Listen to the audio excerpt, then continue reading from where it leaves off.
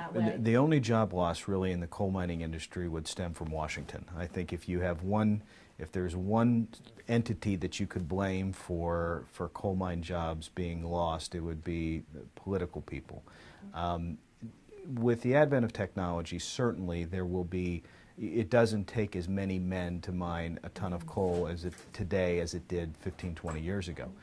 But when you look at the possibility that we have to grow the amount of coal jobs that we, we currently have, it's, it, it could happen. The problem is that Washington is pushing down rules and regulations that simply prohibit uh, coal mining in many parts of our state.